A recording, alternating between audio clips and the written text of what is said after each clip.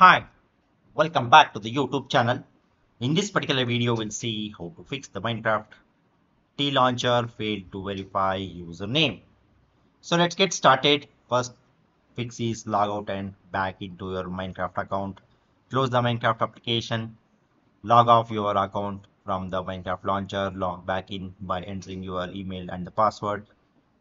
Try joining the server again. Fix number two, restart your Minecraft server, close the Minecraft server application completely, open the server application or the script to start the server again. If you are using a control panel, locate the restart button and click on it. If restarting from the console, use slash stop command to shut down the server and then start it again.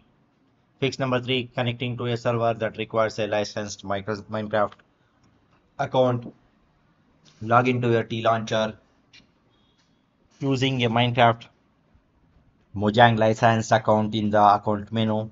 If you don't have the licensed account, you will need to find a server that doesn't check for a license. Make sure the server addresses and the port number are entered correctly in the server list. Click join server to connect to the server licensed server. If you encounter fail to verify username error ensure you are not logged into the multiple instances of your account simultaneously. Fix number four update the minecraft and java to their latest versions. Outdated software can cause the authentication issues. Update the minecraft by clicking the force update button in the options. Update java by going to the update tab in the java control panel. Fix number five contact the minecraft launcher support team if you have tried all other troubleshooting methods and if you're still facing the problem, you can contact the TLauncher support team through the website tlauncher.org slash en. Okay, so once you visit this particular site, you can contact the support team.